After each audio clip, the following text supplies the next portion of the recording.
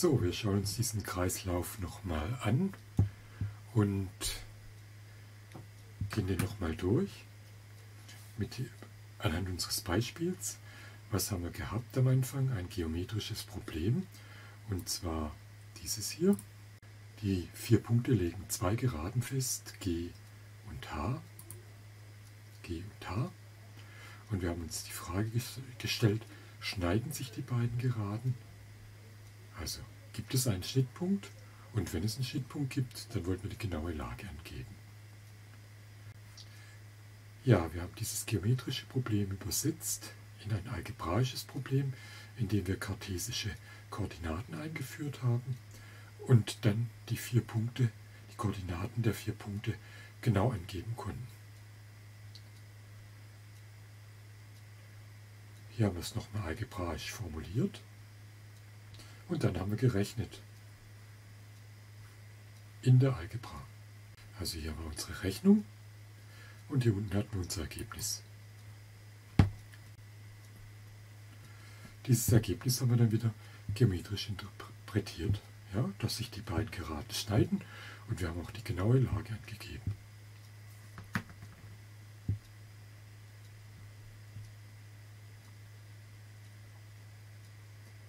Jetzt ist es Zeit für die Aufgabe der Woche. Ich habe hier ein Schachbrett. Und auf diesem Schachbrett, da positioniere ich drei Figuren, ein Bauer auf F6,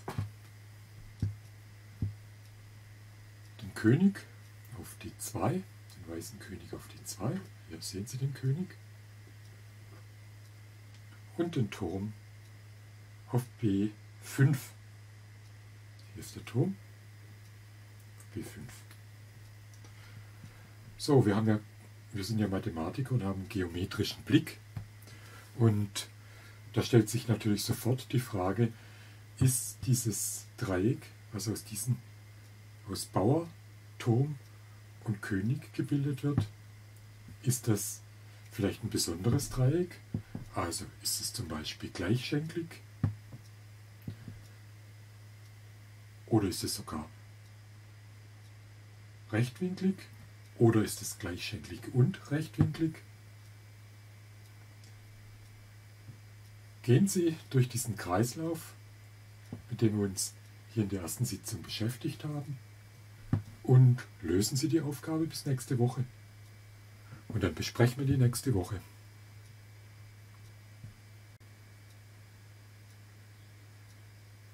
Okay, wir gehen gleich zu unserem inhaltlichen Überblick. Jetzt haben Sie einen Eindruck bekommen, womit sich die, äh, die analytische Geometrie beschäftigt oder wie man in der analytischen Geometrie vorgeht. Und wir schauen uns jetzt äh, den Überblick über meine geplanten Inhalte dieser Veranstaltung an. Wie gesagt, mit Vorbehalt, eventuell, ich halte die Veranstaltung zum ersten Mal, eventuell kommen wir nicht so weit, wie ich geplant habe, aber wir werden sehen. Heute haben wir uns mit der Frage beschäftigt, was ist analytische Geometrie und womit beschäftigt sich die analytische Geometrie. Wir werden uns in der nächsten Sitzung werden wir uns mit der Einführung in die Vektorgeometrie beschäftigen. Da gehen wir natürlich ganz, beschäftigen wir uns ganz mit den Grundbegriffen zunächst. Also was ist ein Vektor? Mit der Addition und Subtraktion von Vektoren, skalare Multiplikation von Vektoren, so die Grundlagen, die grundlegenden Rechenoperationen mit, den, mit Vektoren. Dann machen wir einen kleinen Exkurs zur Theorie der Vektorräume, zur allgemeinen Theorie der Vektorräume und schauen uns dazu Beispiele an. Den Schluss dieses Kapitels macht die lineare Abhängigkeit bzw. lineare Unabhängigkeit von Vektoren und am Schluss nochmal die Übung, die wir besprechen, die ich aber auch schon hier mit einstreue. Das wird uns bestimmt zwei, drei Sitzungen beschäftigen. Danach gehen wir zur affinen, mit dieser Grund, guten Grundlage gehen wir zur affinen Geometrie in der Ebene und Raum, beschäftigen uns nochmal mit Koordinatensystemen in der Ebene und im Raum und dann äh, Beschreibung von Geraden in der Ebene durch Gleichung, entsprechend Parameterdarstellung für Geraden im Raum und dann den Abschluss macht, machen die Ebenen im Raum.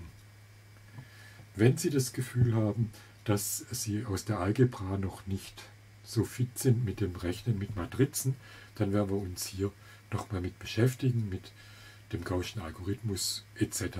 etc. ein bisschen lineare Algebra betreiben. Wenn nicht, also dann gehen, wir über diesen kleinen, über diese kleine Wiederholung nach ins Kapitel 4. Wenn nicht, gehen wir direkt dahin. Den Abschluss, das Abschlusskapitel ist äh, die metrische Geometrie in der Ebene und im Raum. Da gucken wir uns nochmal kartesische Koordinatensysteme an, Längenberechnungen in der Ebene bzw. im Raum, Skalarprodukt von Vektoren und damit dann Anwendung des Skalarproduktes und Verallgemeinerung des Skalarproduktes.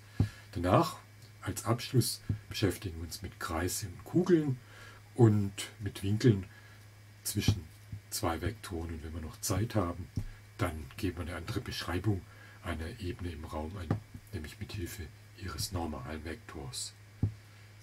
Den Abschluss machen, Anwendungen bzw. Übungen dazu. So, wenn wir so weit gekommen sind, werden Sie sehen, dass jedes Kapitel hat eigentlich hier Bezüge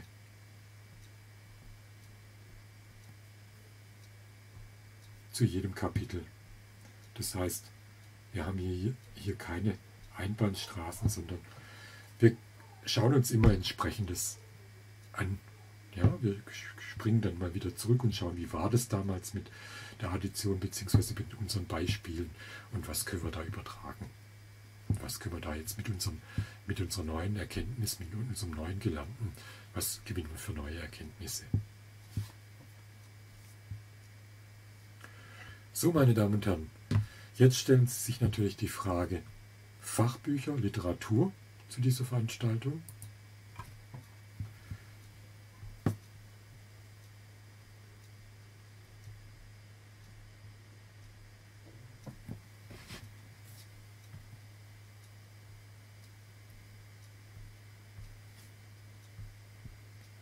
Was können Sie zu dieser Veranstaltung an Literatur zu Rate ziehen, wenn Sie mal was nachschlagen müssen? Naja, das Erste, was ich immer empfehle, sind Schulbücher.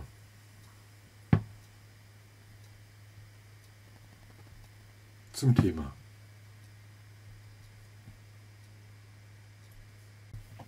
Schulbücher haben immer den Vorteil, dass dort viele Aufgaben viele Beispiele vorgerechnet sind und entsprechend auch Aufgaben gestellt werden.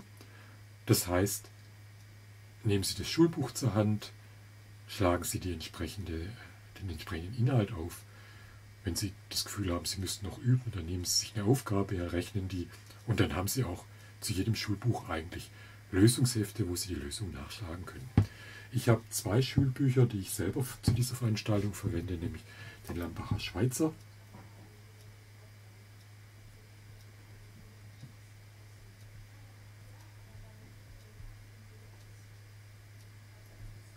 vom Klepp Verlag ist der, das ist die analytische Geometrie mit linearer Algebra, heißt das.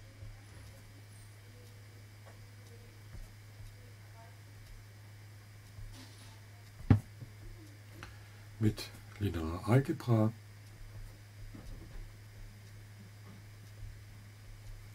Im Klepp Verlag Und das zweite Schulbuch, was ich habe, das stelle ich Ihnen gleich mal vor. Da können Sie mal reinblättern, äh, reinschauen. Das zweite Buch, was ich habe, ist der Ulzhöfer. Ist aus dem Bayerischen Schulbuchverlag.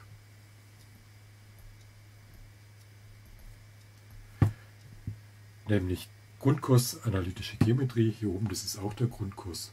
Ich schreibe mal GK dazu.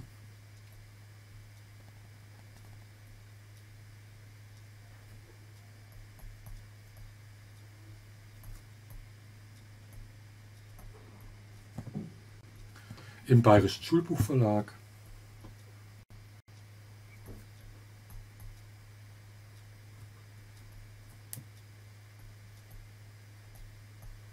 Schulbücher haben immer den Vorteil, dass sie auch Lösungshefte haben, wo man dann die Aufgaben, die man gelöst hat, die Lösung nachschlagen kann und schauen kann, was, ob man es richtig bearbeitet hat. Ich habe Ihnen die mal mitgebracht, da können Sie mal einen Blick reinwerfen. Das sind auch die Bücher, nach denen ich mich äh, richte, hauptsächlich auch richte bei dieser Veranstaltung. So, da haben wir die Bücher schon. Gucken wir mal, ob es scharf ist. Also Sie sehen, zunächst mal habe ich hier den Lambacher Schweizer, analytische Geometrie mit linearer Algebra. Ja, wenn Sie da mal reinschauen, ist es natürlich ein typisches Schulbuch, ganz klar. Ja, hier vorne haben wir den linearen Algebra-Teil. Dann sehen Sie, man hat einen großen lineare Gleichungssysteme. Dann haben wir Vektoren, eigentlich was wir genau machen, Geraden und Ebenen. Und hier haben wir noch Längenabstände im Kreis und Kugeln und Ellipsen. Äh, nehmen wir natürlich nicht dran, das ist klar. Aber da finden Sie zu jedem was. Und ich schlage es mal auf. Hier haben wir zum Beispiel solche mathematischen Exkursionen. Das geht gerade über René Descartes, da können Sie mal nachlesen. Ja? Und hier, wenn Sie sich mal das anschauen, dann sehen Sie natürlich hier Geraden und Ebenen. Da haben Sie entsprechende Aufgaben, bearbeitete Aufgaben natürlich, selbstverständlich. Sehr schön gemacht. Das zweite, ja, hierzu gibt es natürlich ein Lösungsheft. Ja, da können Sie die entsprechenden Lösungen nachschlagen für die Aufgaben, selbstverständlich jederzeit. Und dann haben wir das Buch hier vom Herrn Ulzhöfer, Mathematischer Grundkurs, Analytische Geometrie. Ja, wenn wir das hier aufschlagen, dann sehen Sie das genauso aufgebaut. Zuerst lineare Gleichungssysteme, dann kommt hier Vektoren, äh, entsprechend Geraden und Ebenen, Kugeln und Kreise. Und wenn Sie sich das mal mit der Seite anschauen, ist das auch wieder natürlich wie ein Schulbuch gemacht. Sie finden überall entsprechende Aufgaben, die Sie dann natürlich entsprechend im Lösungsheft nachschlagen können. So, wir haben noch entsprechende Fachbücher. Wenn Sie sich nach Fachbüchern umschauen, dann finden Sie eine Menge. Die habe ich nicht dabei.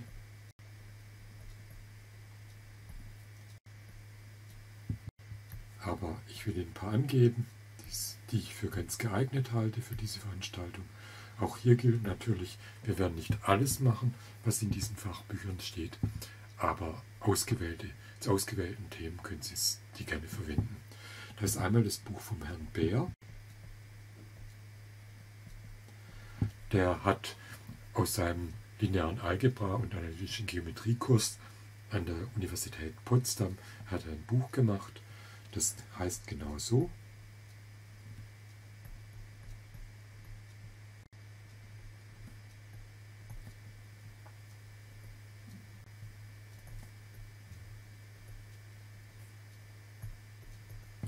Das ist im Springer Verlag erschienen. Das ist relativ neu. Ist nicht so teuer.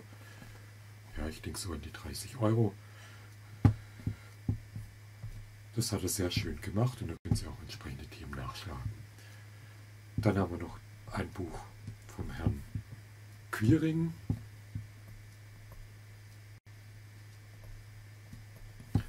Lernbuch Lineare Algebra und analytische Geometrie.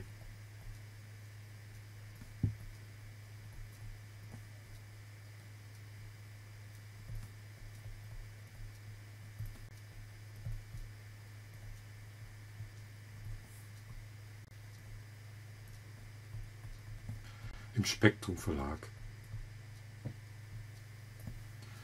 Das ist auch relativ neu und da finden Sie auch eine Menge Beispielaufgaben und Aufgaben, die Sie bearbeiten können. Gut, meine Damen und Herren. Ich wünsche Ihnen eine schöne Woche und freue mich auf Sie wieder nächste Woche zur nächsten Sitzung.